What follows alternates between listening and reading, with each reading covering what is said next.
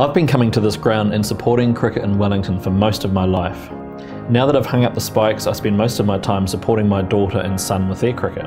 Cricket Wellington shares so many of the values that are core to Spotlight Reporting, the business intelligence software company that Julie and me founded 10 years ago.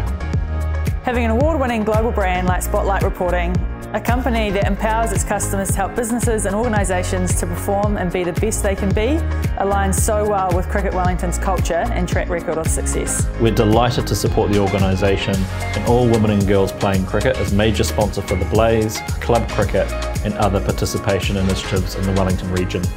We have another huge season ahead for the Wellington Blaze and it's so fantastic to have a great company like Spotlight Reporting right behind us. We're so excited to work with a sponsor that believes in what we're doing at the community level and will allow us to deliver to more women and girls in Wellington.